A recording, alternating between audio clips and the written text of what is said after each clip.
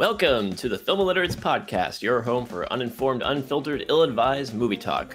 I'm your host, Joe Campbell, and as always, with me today are Alex Patton. Yo. And Nathan Stone. Hey everyone, how's it going? I'm doing well. I wasn't sure whether, whether to answer the hypothetical question. Oh, it did sound like very hypothetical, yeah. I mean, were you pointing that at us, or are you pointing at the people who listen? Well, I guess it applies to everybody. It applies to the whole world. The whole world.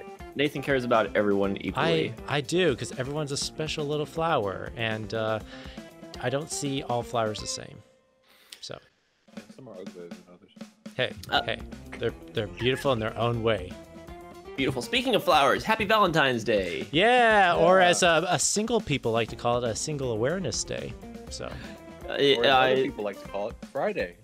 that's true. Some people don't treat it like a holiday. this is a I, I, I so as we record this today is valentine's day. Mhm. for all of you listening all two of you if we're lucky listening to this this will be after valentine's day. So this is a belated valentine's day episode. And since we are recording this on valentine's day we decided we're going to talk about the most romantic movie of all time uh the 50 shades of gray of its time harold and maude. That's yeah, I guess that's kind of putting it mildly, but yeah. But before we get into that, let's talk about what we've watched on our own recently. Uh, Nathan, kick us kick us off today. Okie dokie. Well, uh, I guess uh, just this past week, I was actually up in Washington. I was spending a lot of time with Joe and his family. It was a great time. But um, I decided to test out uh, this iPhone 11 Pro because I don't know if anybody else is aware, but this camera on this phone is actually pretty good. So I spent a good portion of, I guess, while up there, just filming stuff, just testing things out, going to, uh, you know, the University of Washington, several of the parks around there, just shooting stuff. So I spent a good part of this week just shooting and editing videos for that. So I'm going to have some content up pretty soon. So excited. Um, aside from that, uh, you know, I think if anyone was aware of like a couple of podcasts ago, I was talking about BoJack Horseman. It's a miniseries I was following on um, Netflix. It's coming to its last uh, few episodes. Actually, it, they just launched the last uh, season um, this past month. So I was going to ask, does, does Netflix launch seasons uh, all at once like they usually do?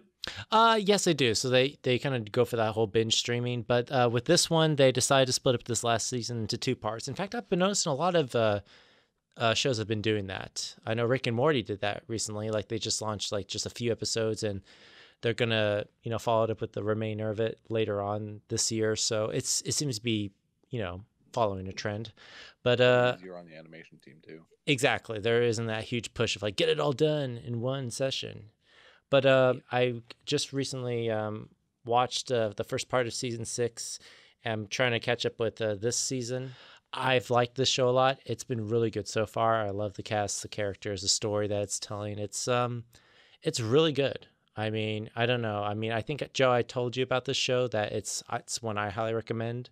Uh, Alex, I, I don't know if you've checked it out at all, but it's uh, it's worth a shot. Yeah, yeah. I think I've caught up to maybe I think it was like maybe season three.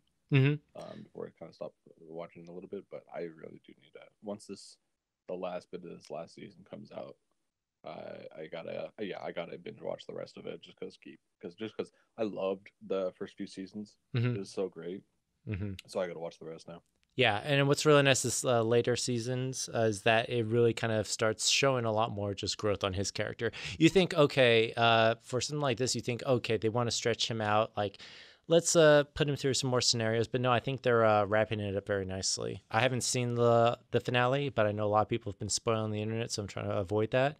But it, I should probably be able to catch it up this weekend. It being a three day weekend, President's Day. So uh, yeah, Nice. Now that now that the whole thing is out, uh, I might get around to it in the I don't know if if not the next few months, at least within at least at least this this year. Uh, I'm I'm currently just started the season three, four. No, I think it's season four of uh, Better Call Saul. It just hit Netflix, so I'm kind of on a Better Call Saul thing right now. But BoJack Horseman's definitely on my on my list. I, I will say with BoJack Horseman, for anyone who's not watched it, please come in prepared and mentally prepared because this one is is pretty heavy and it gets it goes to territories that you were not expecting. It's not as lighthearted or as comical as a lot of people make it out to be. When there's people who say this is pretty depressing, yeah, it's it is absolutely true. But it's a good depression. It's a good like it's weird for me to say that it's a good depression to go through, but uh, it's it's very therapeutic, um, and I liked it. Um,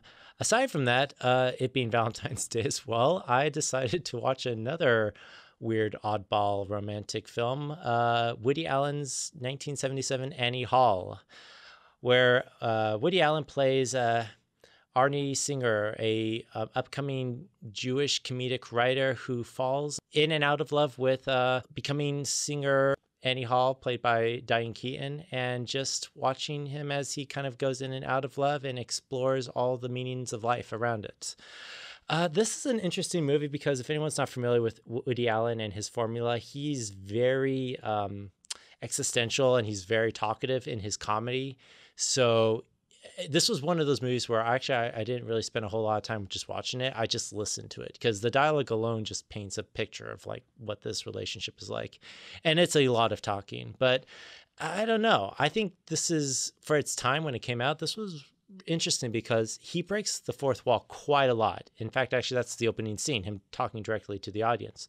And then after that, it just sets the tone of him just breaking that fourth wall in any kind of scenario. Like there's this one scene in uh, when they're waiting in line to go see a movie, and then he just suddenly starts talking to the audience, and the guy behind him starts engaging with the audience, and then he brings in this critic from somewhere on the scene to talk about it, and it just breaks all those boundaries. And I don't know, I it was it's interesting. I just cannot stand listening to Woody Allen. Um, if anything, he was the one thing I wish could have been replaced with someone else. Interesting, yeah, because I've, I've I've only seen a few Woody, Allen movies. I mean, the ones that come to mind are uh, Hannah and her sisters, Blue Jasmine, and uh, Midnight in Paris. So, but which which I, I don't think he I don't think he breaks the fourth wall in any of those. So I I don't know. I'm, I'm my interest is peaked now. Yeah, no, this is one that I think uh, stands out from all of them. I mean, this is the one that won Best Picture back in '77. This is the one that beat Best Picture for Star Wars. Uh, it was up against Star Wars, and this one uh, was Star Wars nominated? It was, yes. It got, oh, interesting. It was nominated for quite a few, and it, although it won a lot of the technical awards for its time, it deserves it. Uh, this one ended up sweeping like screenplay, director, best picture. So it's kind of interesting just to put it side by side and see that. However, I will probably say the best cameos in this movie are Paul Simon and Christopher Walken. Oh. Christopher Walken makes a cameo in this, and when he comes into the screen, you're like, oh my gosh. And it's one of the best scenes. Just in knowing Christopher Walken and all of his Walkenness, it's uh it's pretty good. I'll have to check it out. Yeah. Um, other than that, that's kind of what I've been doing. Uh next. Alex? All right. Um I just started watching just today actually. Uh watching Letterkenny on Hulu. Dude, it's so good. is that is is is it is that animated? No, it's a uh, live action. Okay. It's about these um, Hicks living up in literally a town called Letterkenny up in Canada. And it's just their troubles that they get into. It's just I, I love the comedy of it too because it's just everything's just so completely deadpan. So, so knowing nothing about this show, the first thing I think of is: Have you guys heard of a show called Corner Gas? I have, yes. No. Uh, for Alex, if you haven't seen Corner Gas, it's a Canadian, I guess, sitcom comedy show, kind of. Uh, I know I, know nothing about the show you were talking about, but just like you, that that brief description made me think of Corner Gas. Okay, I mean that's all. that's all he's going to say about that's it. The only relation to it. I mean, sure. I guess it kind of sounds similar. Cool. it's Canadian, and yeah, I mean, it's Canadian. It's a comedy, situational comedy. We love our hockey, you know. Eh? You know, you know how all, all American situational comedies are exactly the same. Well, yeah, and Canada has its own formula, which works for it, and uh, yeah. Awesome. I mean, what what um actually made by Canadians or or not, but that's at least the setting for it, and everyone is Canadian, or at least sounds like they're Canadian as far as does it know. does it play into the kind of the Canadian stereotypes like the the, the uh, uh, Rick Moranis Strange Brew kind of over the top stuff? I, I don't know that, but uh, not really. No, it, it's not. It's not the like super nice. Oh, sorry, sorry, Canadian kind of stereotype that you you know you might normally think of. Um, they're literally just like normal people that are Canadian. So Okay. Let me ask you this: Do they actually play hockey, or do they put a huge emphasis? there are a emphasis on? couple hockey players in that are that are main characters. I'll have to ask my my uh, uh, my sister who went to school up in Canada for a few years. Uh, see what she has to say about uh, hockey up there. Oh, yeah, yeah. She'll have a better insight on that. I mean, Right. as long as they're not turning people into walruses, that's okay. True. Thinking of Tusk right now, so I got that which is, reference. which is a s is set in Canada. So Um, but yeah, the show's great. Other than that, I've been. I just finished um a game called Everybody's Gone to the Rapture. Um, this is a, this is a game I started a while back, but I didn't. I think I got like barely an hour into it, and I just stopped for whatever reason. I mean, it's it sounds very uplifting. Sure. Yeah. You want to call it that? yeah. It's um, so the game type it, it's kind of classified as what what's kind of be what's been known or called a uh, walking sim. You literally just walk around. That's that's the game. But yeah, this it was developed by a studio called the Chinese Room, um, and they're well known. They were the ones who kind of invented or kind of really coined this genre. You're not playing any specific character. You don't really talk to anybody. You just walk from point to point, admire the scenery. Um, you know, with their first game that they that they became well known for, called Dear Esther, which I played um, years ago. Um, I, I absolutely love the game, and in that game, yeah, you you don't interact with anything. There's no like interact button as far as I can remember. There's just walking, and you can like zoom the camera in a little bit, maybe see something like far off, but that's the entire like gameplay mechanics. Everybody's gone to the Rapture is pretty much the same thing. They added some gameplay mechanics, so now you can open doors, you can uh, pick up a phone and listen to something, um, and then there's like a certain point where you have to like tilt your controller, like motion control. So, so, mi- so mind if I ask? Is it, it- the whole premise of this game is like you're the last person on Earth and nobody else is around? I I can't give you the. I don't even know. You don't know. You've you've not thing- encountered anybody else, so Well, the thing, well, the thing is, like, you don't ever see yourself, the player. Like, even if, like, even if, like, you go, you go up or down a ladder, you look straight down where you should see your feet and your hands gripping the ladder. There's nothing. so you could be dead. Is basically what you're saying. You could be just, you could be literally nothing. That's very existentialist. Are are there any any goals to the game? Yeah, you just finished the story. That's literally it. But what's You the story? point- That's what I'm saying. It's a story based thing. Yeah, you literally just go from point to point and listen and and and hear the story. Okay. Interesting.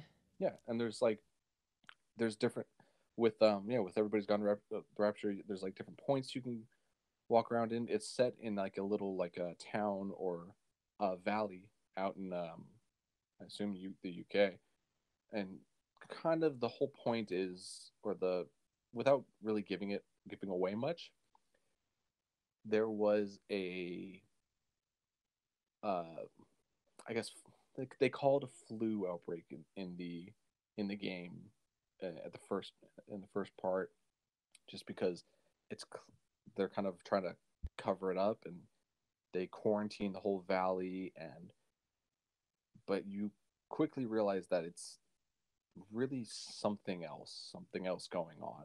And so your whole like the whole game is just walking through all these different houses through all these different roads through the countryside in this valley and you just learn about the different stories of the people that live there and kind of this overarching story of uh, this couple that was working at an observatory. Like, despite how boring the gameplay sounds, like you to really get into it, you just got to fully invest yourself into the story. And it's cool too because it's not like even when you get to the end, it's not like here's what happened, here's exactly how this happened, here's what everyone thought, and here's what happened to everyone. It's just it's the same thing with Dear Esther, the fir- the studio's first game. It's pretty abstract at the ending. You just kind of have to guess and draw your own meaning from it because it just leaves it open to you. Yeah, I guess leave it to the Brits to come up with flu outbreak viruses and absurdism because yeah, well, I was saying it's not flu. That's, that's what they're. whatever That's virus it might as. be. Yeah. Yeah, it might, I mean, it's something else, but yeah. like I said, it's a fascinating game, and I really like the the genre just because it's it's just so quiet and relaxing. But it's you know, but even walking around in like an empty town where there's supposed to be you know tons of people, and you're just walking into empty houses and looking at stuff that you know kind of leads you into more into the story. Just it gets a little unsettling even. But yeah, it's it's it's a gorgeous game too, and the soundtrack is amazing. I'm beginning to notice a pattern actually with you, Alex, where you're watching a lot of like uh, anime that's soothing and calming, and uh, games where you're just walking around and just music that's very ambient. Yeah, I mean that's that's that's what I'm into. Yeah, Mhm. I'm not so into like the super hyped up. You know, No, he- every two. Yeah, seconds yeah, you have a you have enough of that in your daily life. You need to find your escapism. Oh, yeah, for sure. Absolutely. That's about it. I've been just yeah, just playing that game. Obviously playing more Destiny, playing or um watching more anime. But that's that's the general gist. Uh, alrighty. So first thing I'm going to talk about is I watched the BFG for the first time. I missed it in theaters when it came out. Uh, this is 2016. Steven Spielberg. Oh, The BFG is no ordinary bone-crushing giant. He is far too nice and jumbly. It's lucky for Sophie that he is. Had she been carried off in the middle of the night by the Blood Bottler or any of the other giants rather than the BFG, she would have soon become breakfast when Sophie hears that the giants are flush bunking off to England to swallow up. Who wrote this? I don't know. It's a, it's a very long synopsis. a few nice children. She declares she must stop them once and for all, and the BFG is going to help her. Uh, so I, I never read the, the the book The BFG by Roald Dahl, uh, and I didn't get around to this movie just because I didn't hear like like I heard mixed things. I heard some people really liked it, some people really didn't like it, and just kind of fizzled out, and everyone forgot about it. So I finally got around to it uh, because because uh, because I've been showing a lot of kind of, kind of these these kid appropriate movies to my daughter now that she's starting to watch more and more movies. So we watched this one together, and I was surprised at how much I enjoyed this movie. I was charmed by this just happy little movie. It's a good natured giant teams up with a little girl to stop big evil giants, and it's got cutesy stuff in it, uh, but it's got real heart to it too. It's got a sense of humor. It's just it's such a such a nice movie. Uh, so I I greatly enjoyed it. It's um. I was also surprised at how many actual sets and props there were in the movie. Knowing, I mean, I'm like it's shot like like a Steven Spielberg, like like his Tintin movie with the swooping camera angles moving over everywhere. Mhm. But the actress is so clearly interacting with oversized props and on some oversized sets, and they actually built stuff for the movie. You can tell, which was kind of fun to see too, is see seeing that integrated with the CGI, uh, which I thought worked well as well. So yeah, I uh, I greatly enjoyed this. And now we are working through the book. So I'm a few chapters into the book now, and I was surprised at how closely so far, at least, the movie has stuck with the book almost word for word. Yeah, that's actually something I was going to comment on. Is like I remember actually reading the book growing up, and when I saw the movie, I was like, "Wow, this is pretty much almost word for word." Because in a lot of adaptations, you'll see a lot of things change just because okay, we need to translate the film to a modern day audience. But you're right, Joe. They kind of kept this book intact. How long Um, is the uh, how long is the book? it's not that long of a read, actually. It's only like a couple of chapters. I think you could get it done in like maybe I don't know, Joe. Could you say two hours? I mean, I mean, if you sat there dedicating time to it, you probably could. We're we're we're we're, we're taking it a couple of chapters uh, at a time, and we're probably about five chapters in. We're not even like a, a quarter of the way through the book, though. I mean, I mean, it's it's it's a, it's a, it's a children's chapter book with pictures, but it's still a chapter book. Yeah, Got I mean, uh, one thing with like Roald Dahl, like who, this is the guy who wrote James and Giant Peach, Charlie and the Chocolate Factory, so and Fantastic. Fox. So his, stories aren't very extensive. They're not like you know epic novels or anything like that. They're, they're very very simple, whimsical stories. Um, and I remember seeing the movie, and Joe, as uh, as much as I know you loved it, I I don't know, and and maybe this is just an aesthetic thing for me. I don't like CGI Spielberg movies. There's something about it. I don't know what it is, but it's how he handles it that just doesn't feel okay for me. It's a little unsettling, maybe too much of that uncanny valley going on, but I I, I can't buy into it. And uh, this and, and not saying like this is a bad movie, um, but I think it's the one thing that just prevented me from enjoying it. Yeah, yeah, and that's fair. Um, when I think of Uncanny Valley, I immediately jump to like the Robert Zemeckis movies, which I I do get that. Uh, for some reason, in these movies like Tintin and the BFG, I just don't. I don't know why.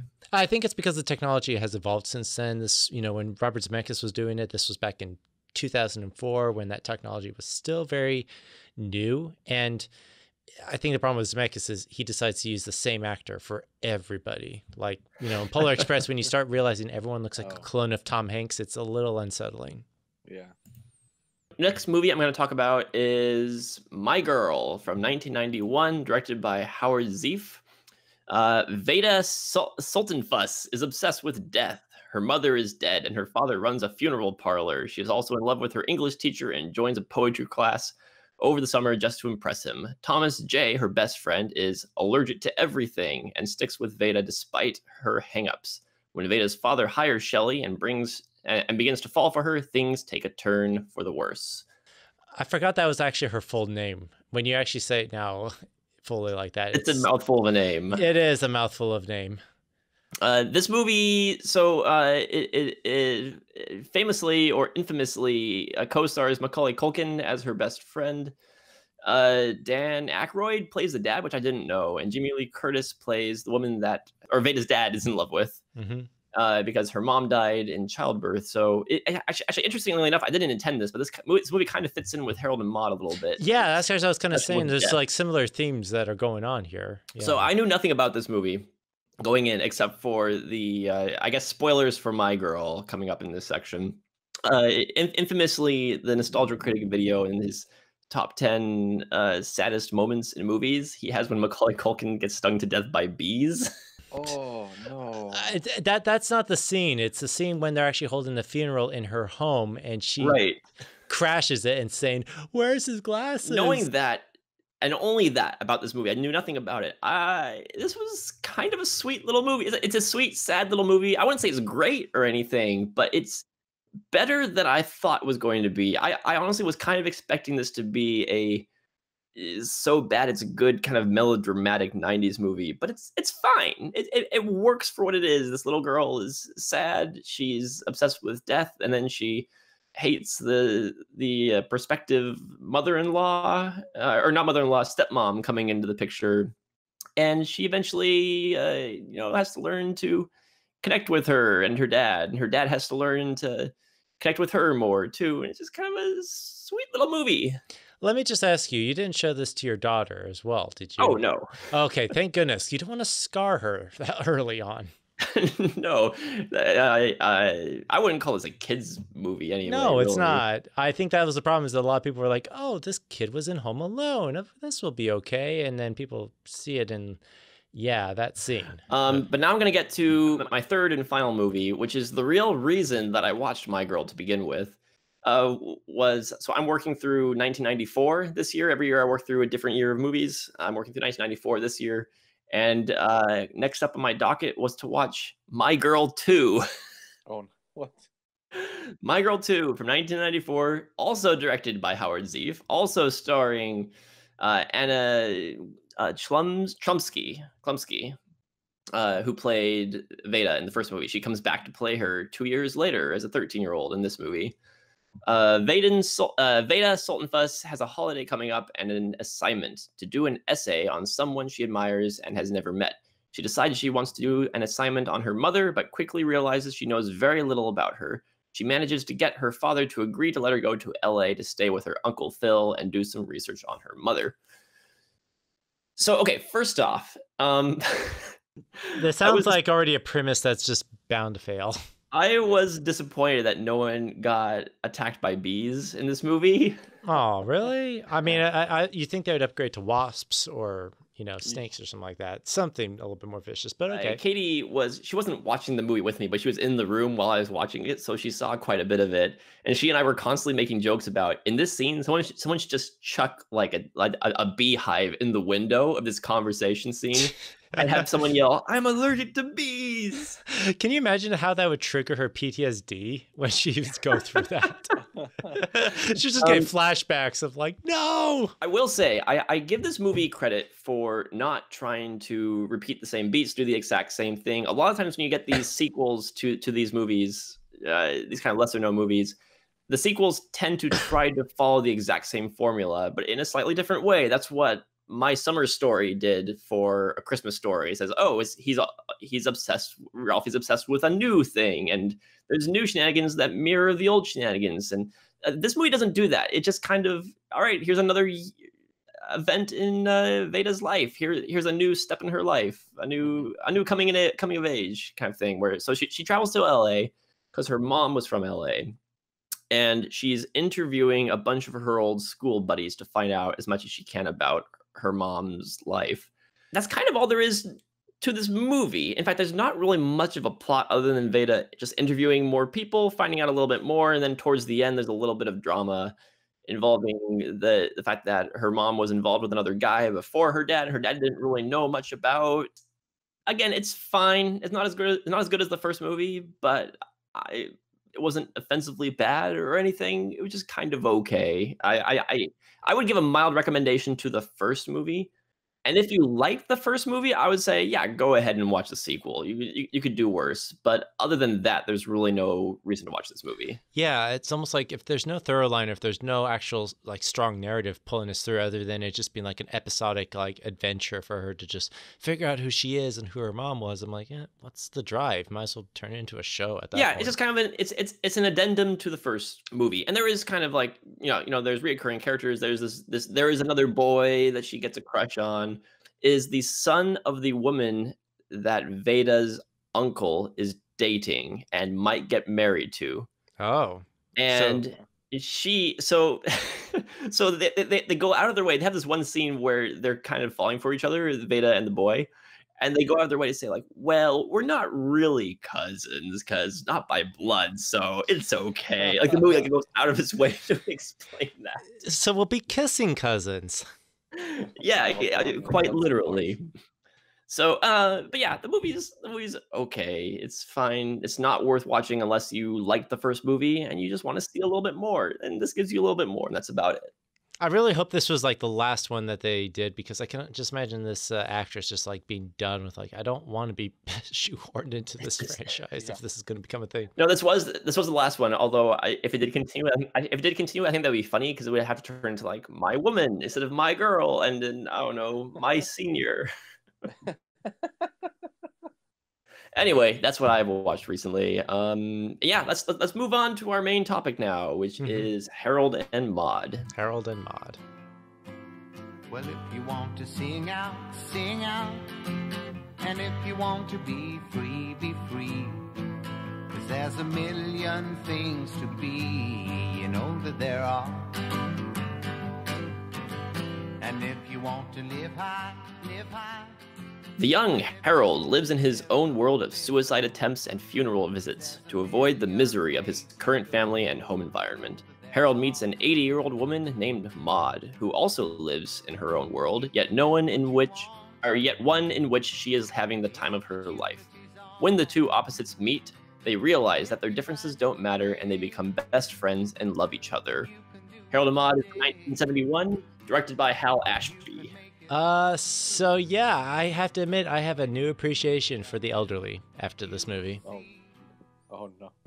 Nate goes to his Tinder account, ups the the, uh, the, the age of people he's looking for. So anywhere between twenty and eighty-five. No, no, no, more like more like anyone between seventy-five and eighty-five. yeah. Okay. Well, we'll just narrow it down to that, pretty much. Well, well, well, eighty-five five. I mean, like, what's what's what's what's even the use? It, you're you're you're just waiting around at that point, right? Pretty much, yeah. As as Maude says in this movie. So okay, so have have either of you guys seen this movie before this time? Uh, no, I I hadn't seen it uh, prior to to to watching this for the review. Uh, I do remember actually watching it a while ago in bits and pieces, and I remember like you know why this was significant for its day and age. Uh, you know, with Bud Cort and Ruth Gordon playing like this very oddball and very kind of polarizing romantic couple. But uh, I I kind of just, if anything, I just remember Harold's suicide attempts. That was like the one yeah. thing that just like caught me off guard in the very beginning because it literally opens up with that, and I was like, did he actually do it? And then you find out, oh no, no, he just stage is this? So I'm curious, what what do you think of it? Because it, it, it's this strikes me as the sort of movie that would be kind of up your alley. Yeah, it was uh, to be honest, I set it on my watch list years ago because I, was, I, 'cause I found out about it and I was like, oh, this, yeah, this does seem like something that's going to be right up my alley. I guess it kind of is in theory. In execution, it was okay. Okay. Uh, before I get into what I thought, I want to go to so our film illiterate's friend, uh, Nick Van Leeshout, he has logged this once on uh, on Letterboxd last year. It was his first time watching it, and and the only thing he said in his review was that this is Wes Anderson's Rosetta Stone. That's a odd way of putting it, but okay. Yeah. I, I which, which which I get. Uh, he also gave the movie two stars. He did not like the movie. Uh, Okay. But like halfway through the movie, I just looked in the letterboxd and I saw his review, and all of a sudden it clicked with me. And I was watching the movie, and I'm like, oh yeah, I totally get where he's coming from with this, with the music and a lot of the angles and kind of the the the the offbeat uh, relationships between the characters. I could see how Wes Anderson would use this movie as a sort of template for his tone for a lot of his movies. Yeah. Uh, me, I had seen this movie once before. I'd seen, I watched this in college, so probably about ten ish years ago for the Yeah. first time. I would say that's like the same time as well when I watched it. So Yeah, I I really didn't care for this movie when I first watched it, uh, and I kind of just put it out of my head as, oh, it's the movie where the the, the teen falls in love with the old lady. Mhm. So re- I, I was anxious to rewatch it because since then it's been added to the Criterion Collection, and I kind of realized I didn't remember a whole lot about this movie, and I thought, well, I should give it another shot now that it's been been, been some time. So I was looking forward to doing this episode, and I think I liked it a little bit more than the first time I watched it. I still don't entirely get the movie. I get a lot of the things it's going for, and I don't know if it meshes together very well for me. I I like the idea of the juxtaposition between the young guy who's obsessed with death and the old woman who wants to live life to the fullest. That's interesting, but you, you don't get to really understand Harold that much. I feel like you get to understand Maude a lot, which makes sense because she's the outgoing one who just wears her personality on her on her sleeve. Everyone like like she she's easy to read in this movie. By Harold's very nature of his character, he's very difficult to read, and he's also the one that we're following most of the movie. And so I don't quite get him, except for there are brief moments here and there where he's caught off guard or or or he's showing you a side of himself that you feel like you're really seeing the inside like like like you're seeing the actual guy because for most of the movie he's putting on this very blank emotionless depressed personality. But there's one moment in particular where he looks at the camera and smiles and you get oh, okay he's getting a kick out of this. Now i get a little piece of his character here. Or uh, later on when he uh, pulls one of his suicide pranks and it doesn't work the way he expected to and he just looks at this lady like oh my gosh like this isn't the way, no way i planned I think I know what you're talking about. Yeah, I actually love that scene just because I was like, okay, I mean, it's it's following the rules of threes, and I want to see like this third one how this goes down. And uh, I was expecting that, but I like. I, I, I- I like the dry macabre sense of humor that the movie has. I like the way the movie shot. Hal Ashby. Uh, I've only seen one of the one other movie of his, which was Eight Million Ways to Die, and the movie is shot and edited very well. From what I understand, Hal Ashby, I think, was known as a as, as a great editor. He didn't actually edit this movie. No, he didn't actually. He had worked on a lot of uh, Norman Jewison uh, films. One of them being, I think, uh, In the Heat of the Night.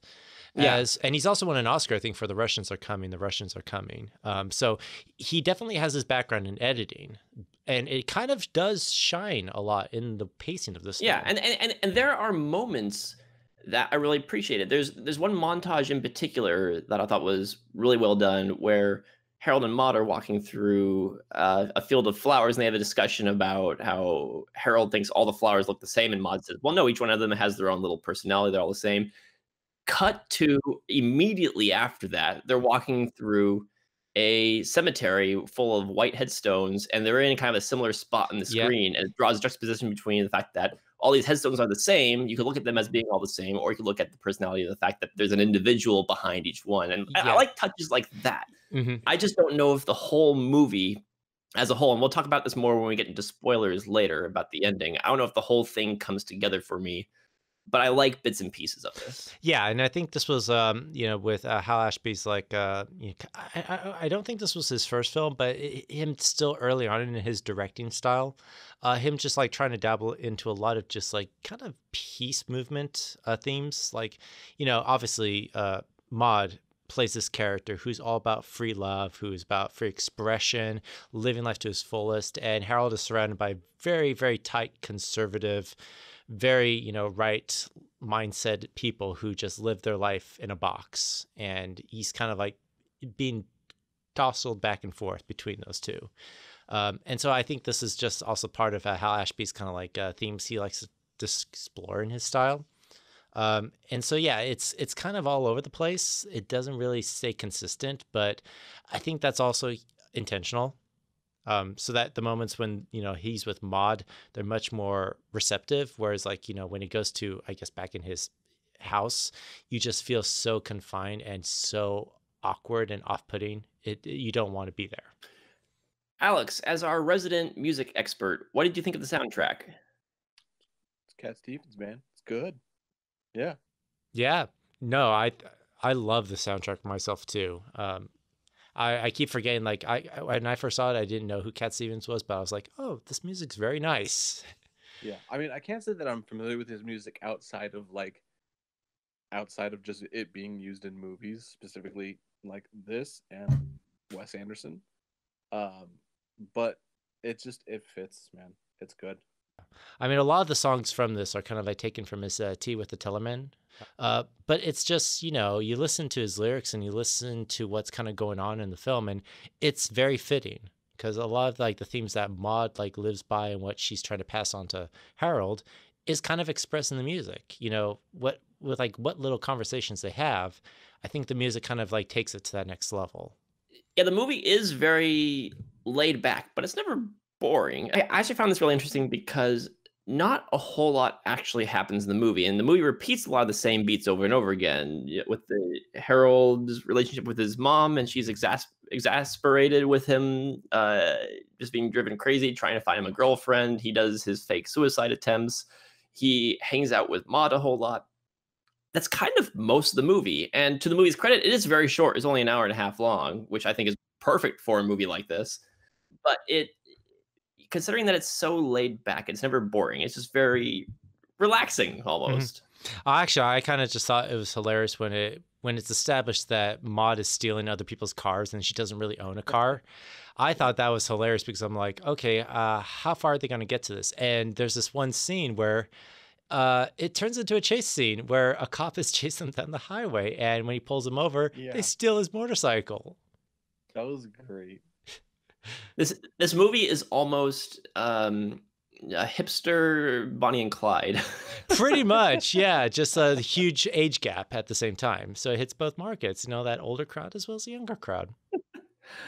um, I, I Nate, I mentioned and you mentioned as, as well earlier a little bit about the humor. What what what did you think about the humor in this movie? I think if if you don't get it in the first like five ten minutes, especially with Harold, this movie is not going to be your cup of tea. Um, you have to get past that whole macabre kind of aspect of it, where he is you know staging these fake suicides.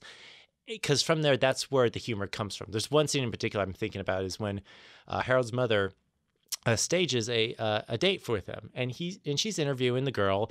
You see Harold outside in the front patio eh, with a draping himself with a uh, a a blanket and him dousing himself with gasoline, and it's cutting back and forth. And then at one point, he lights himself, and you think, "Oh my gosh!" And then next minute, he's entering the room, not touched, and I'm like. Okay, well, if this is not the humor that you like, yeah, this movie is gonna be very off-putting for you. So, I, I think for me, the humor for this, it hit a, a funny bone for me. But I know with Hal Ashby, this is the same kind of dark humor he dabbles a lot in a lot of his uh, body of work. And it does cross the line at sometimes. Yeah, uh, Alex, Alex, did you do you think it was funny? Mildly, yeah. I mean, the suicide scenes were probably the best part of it. Uh, in all, I'm gonna put that as a quote from Alex, just post it on Twitter with no context. do it. Do it. The, the suicide scenes were the best part of the movie. I mean, they kind of are. I mean, they, they come out of nowhere and they Yeah, can surprise you. Really argue that? Yeah. No, I can't. I can't. Um, I, I have to ask, like, what were your favorites? Like, is there any favorites out there? Mm, I mean, the first one was good just because like that really extended one shot. So that that was nice. And then the um the one where he stabs himself. Was Well, yeah, and and that's kind of to, to Alex's point about pointing out those two scenes. That I think is also kind of a problem, a mini problem with the movie, is that for me those two scenes, uh, the the, the opening hanging scene and then the scene with the sword later on, th- those scenes stood out. Also, uh, uh, you're talking about the scene with the sword, right, Alex? Yeah, yeah, yeah. That's Yeah. And I think it's because the movie is very funny and it is very macabre with its, with its humor. But it's also kind of a one joke gag that gets played over and over again. Mm-hmm. It's it, it it gets played in different ways and it's very funny in those different ways. But the uh, I mean this this movie isn't a laugh out loud kind of movie and it Mm. it, it, it, it never was intended to be. Yeah. But the first one I think was more humorous than okay, now we get to see him. Oh, now he's lighting himself on fire. Oh, now he's chopping his hand off. Oh, now he's in the bathtub. It's like, all right, well, we're getting the same thing. He's trying to do these things to shock his mom. His mom is pretending not to act shocked and move on with her life. And he scandalizes some would-be girlfriend uh, until you get to the sword scene when all of a sudden everything is turned on its head. He's like, "Oh, this is not getting the reaction I I, I, I- I wanted out of it," and the movie never drags. And those scenes are some of the best scenes in the movie, but it's kind of like eh, I, I, at a certain point, I was waiting for that sword scene because I'm like, all right, well, we, we've seen this before. We've seen this other thing. And it, it, it is funny to see the people's reactions over and over again, but it's kind of the same joke over and over Yeah, again. You're just waiting for that moment of like where it, you know, it flips the script on on the same joke it's been doing. I mean, I think the only place that I kind of felt also it, it kind of stood out is actually when his mother's trying to get him recruited into the army, sends him off to his uncle, and they use that as a way to kind of get him kicked out of the army. And he actually brings Maude into it, and they stage this whole act, and I'm like, okay, let's see where this goes. But even when that happens, I was kind of thrown off guard. I'm like, well, what exactly happened? How did this work? There was a lot of that for me in this movie also, uh, or, or fell, fell through the floor, the ground into the water. And my first thought was like, oh, is, is she actually dead? Yeah. uh, but then you kind of get the sense that Harold didn't know if she'd actually died or not either, because he seemed a little bit taken aback by that, or maybe it was all planned. We don't we don't really know. Yeah. That was kind of little issue I have with this movie is that I don't need to know every single detail how everything was done. But there were points when my brain was like throwing together ideas of like, wait, how how did he pull that off, or how did how did that actually happen? And the movie just doesn't care, just Yeah. moves on. I, I think thing. the the problem with the script, at least from what I kind of understood, is that the, the guy who wrote this, uh, Colin Higgins, you know, he used that as like his, you know, way of keeping you engaged and interested. But with all these scenarios that he was coming up with, there was no uh, boundaries. Especially like when uh, that scene where he's with his uncle and him and Maude are staging this. It's like, where is the fine line of like where it's a safe zone? Like, because I kind of felt like that was not really fully established of how they pull that off unless he's a magician and maybe that's what uh this this whole movie is trying to say is that uh harold becomes the next david copperfield who works in vegas now And of course, at, at the heart of the movie is the relationship between Harold and Maude. And I guess th- this is the point. I, I I might bring up some spoilery thoughts. So so should we just give a spoiler warning right here? yeah i in say we should we'll yeah get into mhm. it now. Yeah. So uh, uh, potential spoilers here on out for Harold and Maude. So as I mentioned early on, one of the draws of the movie is the fact that Harold and Maude are opposites, and that, I, I'm sure that was kind of the pitch of the Mhm. movie is the fact that it's a young guy who's all about death and an old woman who's all about life, and they get together and they want to get married and all this. My my big problem is that so so I would get why Maude would be attracted to Harold because she is all about youth and living and and and she wants to show this this guy this young guy the the joys of just going off and doing whatever you want let's steal cars because we can and Yeah. but because we never really at least for me at least i never really got to understand harold i never got what his attraction to her was other than she's old um because the fact that she's so alive would seem like it would be the thing that wouldn't attract him because he is all about kind of doom and gloom and I don't want to go out with anybody and all that kind of stuff. And I'm all about these macabre situations. On the other hand, he is clearly very juvenile and he gets a kind of satisfaction out of eh, eh, a kind of glee out of these pranks he's pulling on his mom.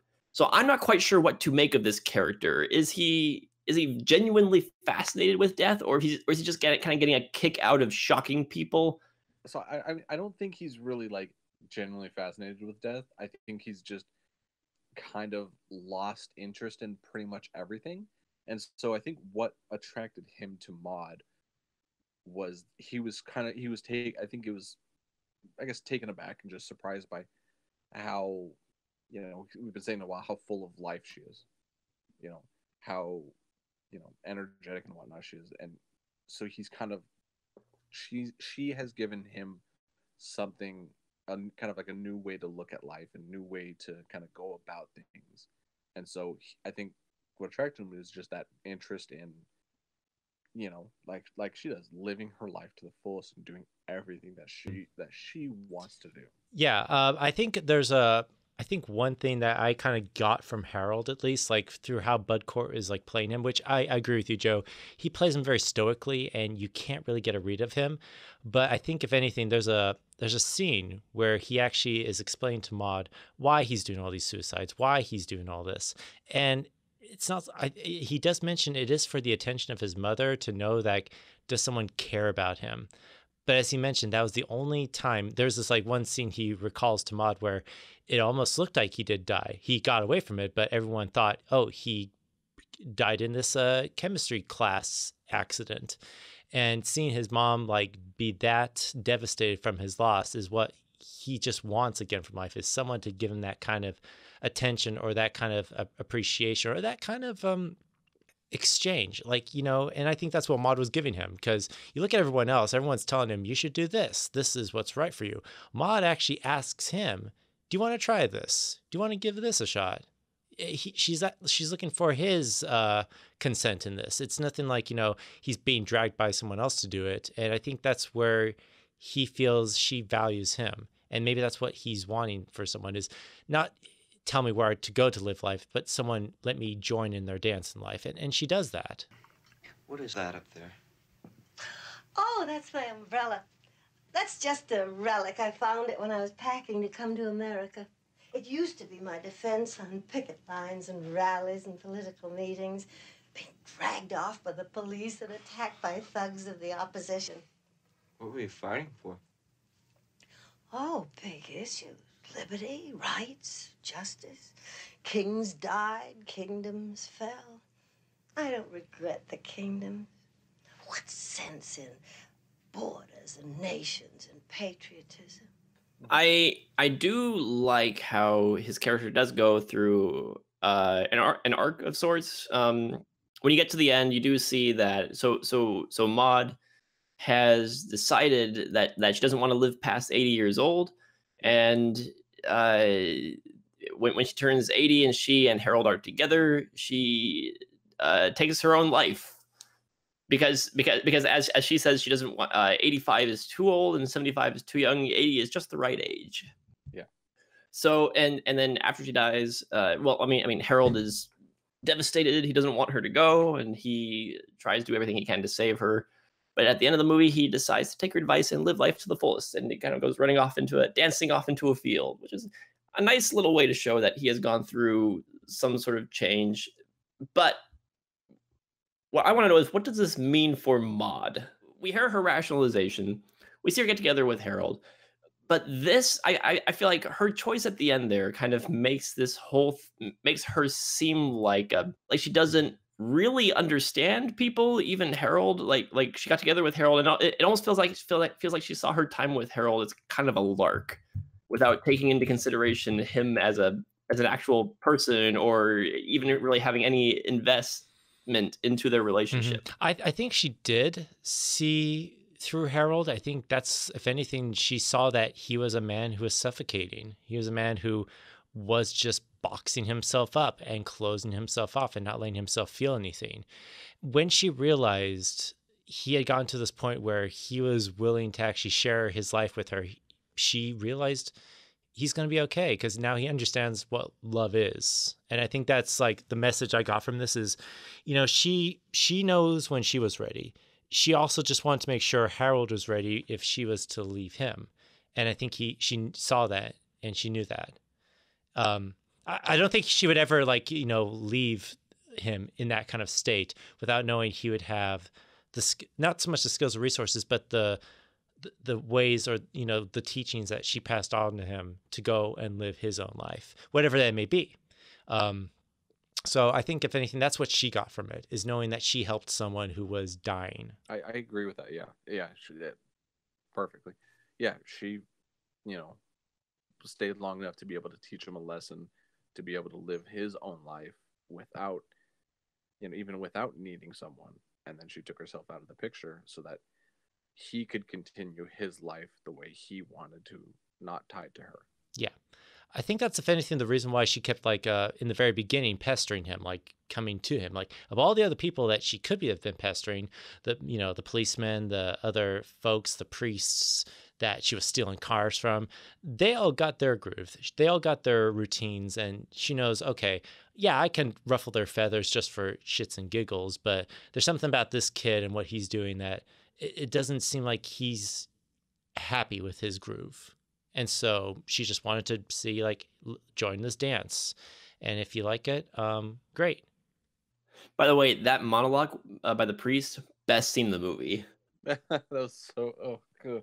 Oh gosh, it, it just it, uh, it was zooming in on his face and he's getting so descriptive with it. I'm like, I, I can't tell if you're disgusted or if you're getting more of a rise out of this than I am because uh because oh geez and it was kind of funny i actually I was talking to some friends at work about this um one of my coworkers actually knew that guy he was actually um one of the um uh acting professors at ucla Oh, really? He- uh Wow. maybe not personally but he was he knew him and identified him and he had actually seen this movie kind of in a double feature side to side with mash which is a uh, another bud cort film so Oh, it's Bud Cort and Mash. I, I I haven't seen the movie, so Uh, yeah, no, I mean it's definitely different from the show, but yeah, Bud Cort's in both of those. So, uh, yeah, either way, it's kind of a little uh, interesting trivia. So here, here's my question: How old is Harold supposed to be in this movie? Well, apparently, I Yeah. think he's in college at this point. Um, Okay, he doesn't like because he doesn't look it. no, he doesn't. Bud Cort looks way younger than he's actually. Well, which is which is the reason I'm sure they that, that they cast Bud Cort because you want to get you know this this movie about youth versus uh, uh, elderly age. You want you want someone who looks really young. Yeah, Uh, let me pull up. I'm actually not quite sure. So Bud, the movie came out in 1971. Bud Cort was born in. Well, while you're looking that up, yeah, I was surprised at how how he's able to turn how he's able to do the modifications on that sports car he got. Oh yeah, where'd like he he, learn that. Like he does like it looks super nice. well, I mean, obviously, if, if he's as skilled as he is to stage all these suicide attempts I- and deaths, he must have some kind of like uh, mechanical skill or I just guess that's fair. able to Yeah, kind of just do auto bodies like that. Yeah. So Bud Cort was 23 when this movie was made. I'm gonna go out on a limb and say his character was supposed to be uh, probably around 18, 19 years old. Yeah, like just early freshman year of college, because he did mention like when he was 16, he got into that chemistry lab uh, accident, and since then he's been trying to get his mother's attention again. So Okay, that makes it a little less creepy. mhm. a little less creepy, not necessarily better, but yeah. So Alex, uh, final thoughts. Uh, would you recommend Harold and Maude? Sure. I I to be honest, I didn't care for it as much. But you would recommend it. I'd still yeah, I'd still say I'd I'd recommend it. It's it's not a bad movie at all. Like it's entertaining enough that it keeps that it kept me engaged and interested, but to be honest, I can't really put my finger on exactly what what didn't really hit home for me.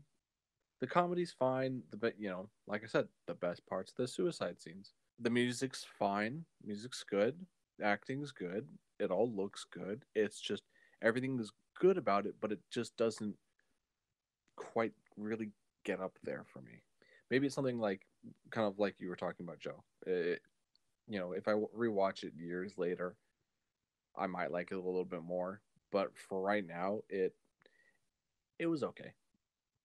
Good, but not not at all great. I don't think. Nate? Um, I'm I'm kind of like a little bit in between there with Alex and really kind of liking this movie because you know, it's it's definitely a good example of a Hal Ashby um, film. Um, aside from being there, this is a, another great example of like his tone, his style, um, a lot of the themes he likes exploring. And I don't know, I think this this romance is actually just uh, something that's a little refreshing, just because I feel like if this was done in a different way, with you know maybe if they were, you know, if the age wasn't so extreme as it was for Ruth Gordon and uh, Bud Cort, um, I don't think a lot of the themes that it was tackling would have been receptive to certain audiences. I think that kind of it's a it's a bit of a shock value and it's a bit of a conversation starter, but it's also just something where you're just on board with the ride with like all the shenanigans and antics they're getting into. But I felt this is I think a lot of the things it explores is nice and especially for its when in the age it came out, it was refreshing but uh, it's definitely a cult classic. Like it's something that's not going to fit for everybody. For me, it's it's an interesting it's an interesting film, and I think it was bold enough to you know do it in this kind of a, a way and be the first to try to do this. Um, but you're right. I think I'm a little bit with Alex, where I kind of felt like it could have been done a little bit better, but at the same time, I'm glad it is the way it is. I don't want it to be any different. Um, just because Hal Ashby, I think, just shines his best in this film with his style. And yeah, keep it as it is. Uh, if it, it, floats your boat, great. If it doesn't, eh, you give it uh, an hour and a half. To refine my take on it a little bit more, I felt like it it just kind of me like especially in the middle, it just kind of meandered around. Like it it didn't feel like it had all that much drive to it until you got either you know you're very early on when he when Harold first meets Maude or you know very late in the movie. Um, the middle kind of just, like I said, just meandered around. There wasn't a lot of driving action, kind of like pulling it forward, other than just like, oh, what crazy thing is Maude going to do next? Oh, how's exactly. this date going to go? Yeah, that yeah. So that that didn't really didn't sit too well with me. So I went from disliking this movie to kind of being impartial on it. I guess I I still don't quite know what I make of it. I think it's very well made. I think the actors are all doing great. I think a lot of the gags land. I but I I, I don't know what I got out of this movie. And I'm sure a lot of people do get something out of this movie, but it, it just uh, just just at the end. And again, I can't let like like you guys, I can't quite lay my finger on why it doesn't work. Just something about it doesn't all quite come together for me. I almost think that that this movie is kind of like the uh, it's the tourist trap of movies where it hooks you in with this bizarre uh, premise like here's this here's this guy who pulls off suicide attempts and he gets together with an old lady. See what happens. But then it also brings in some really kind of interesting moments interesting themes. It's got everything that it promises but in the end you're not quite i'm not quite sure if there's really a whole lot behind it and I'm sure that a lot of people do get do get something out of it. Just for me, it it it, it didn't quite do it. Uh, despite how well Al, Hal Ashby directs it, it is very funny at times. Um, but it is it's uh, yeah, it's an it's an interesting it's it's an oddity of a movie. Yeah, I yeah. I say if you're into that kind of thing, you'll like it. I can't re- I can't recommend it to, to, to everybody but I, I, I know there are people out there obviously who who love this movie, and so I would just kind of take it on a case by case basis. If this sounds like something that you would be interested in, I would say go for it. Uh, if not, you can easily skip it, and I wouldn't try to convince you otherwise. Mm-hmm, exactly. Fair. Anyway, that will end it for uh, this episode of the Film Illiterates podcast. Uh, you can go to filmilliterates.com for more episodes and other videos and youtube.com slash Film Illiterates. Uh, Nate, where can people find you? Oh, well, you can find me here at Film Illiterates uh, with these guys doing podcasts, videos, anything else. And uh, I actually have an Instagram channel, so you can go to Nathan underscore Stone underscore films or follow me at uh, Starlord underscore rules with a Z. Um, but yeah, I'm also going to try to get back on Letterboxd. I know I keep promising that, but I'm going to do it. Alex? All right. Uh, I'm on Letterboxd under Half Scrim. Uh, I'm also on Rate Your Music, if you want to check out what I've been listening to, under also under Half Scrim, um, and then uh, on Twitter at Alex D Patton. And uh, you can find me at uh, twitter.com slash film illiterates and letterboxd.com if you I'm username uh, film underscore illiterate. And next episode we're gonna be doing will be a pick a flick by Nate. Nate, have you chosen a movie yet, or are we are you still thinking on that? Um, I think I'm gonna surprise you guys. Uh, but we are doing a pick a flick, so it'll be something interesting. Alrighty, so next episode Nate will have some sort of uh, horrifying monstrosity of a movie he will unleash upon us. I, it'll be definitely one that you'll like, Joe. Um, and probably with Alex, maybe you'll even love even more. Until then, uh, go ahead and keep watching movies and keep it easy.